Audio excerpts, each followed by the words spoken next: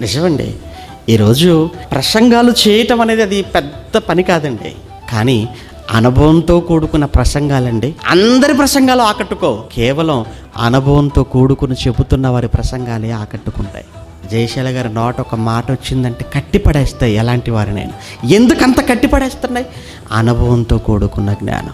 అనుభవించాడు గనక మహానుభావుడు ఎన్నో బాధలు అనుభవించాడు ఎన్నో ఆటుపోట్లు అనుభవించాడు ఎన్నో శ్రమలు అనుభవించాడు. వాటన్నింటిలో నుంచి వస్తున్న మాట గనక ఆ మాట ఎలాంటి వాడినైనా ఆలోచింపజేస్తాడు. కనుక ఒక్కసారి మిమ్మల్ని మీరు ఆలోచించు. మీ జీవితంలోనికి వచ్చే ప్రతి కష్టం ప్రతి శ్రమ ప్రతి బాధ అది మీకు ఒక పరీక్షలా మీరు భావించండి.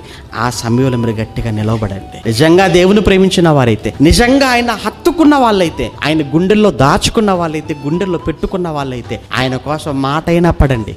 ఆయన కోసం దెబ్బ అయినా పడండి. ఆయన కోసం ఏదైనా పర్వాలేదు.